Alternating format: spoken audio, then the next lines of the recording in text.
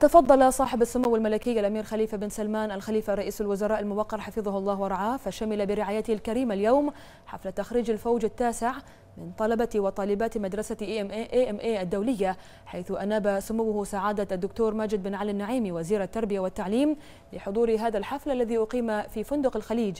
بحضور الدكتور أمابيلا جيلوس مبعوث فخامة رئيس جمهورية الفلبين لدول مجلس التعاون لدول الخليج العربية.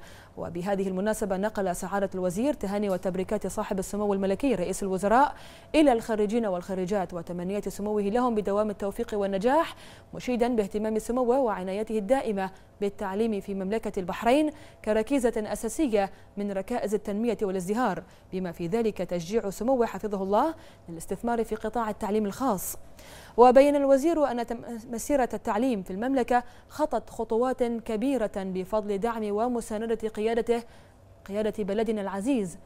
يحفظها الله ويرعاها بما مكن الوزارة من تطوير خدماتها على صعيد التعليم الحكومي والخاص بكافة مراحله.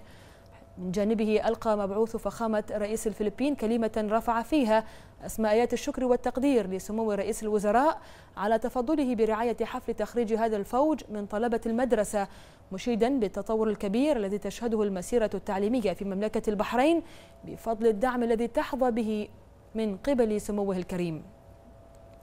وكشف في كلمته عن قرب افتتاح المدرسة لمبنى جديد يستوعب أكثر من ألفي طالب وطالبة إضافة إلى العمل على إنشاء مدرسة لذوي الاحتياجات الخاصة. وأضاف أن مدرسة AMA الدولية حققت العديد من الإنجازات في الفترة الماضية ومنها تحقيق طلبتها 17 ميدالية ذهبية وفضية في المسابقة الدولية للخطابة والمناقشة والكتابة باللغة الإنجليزية.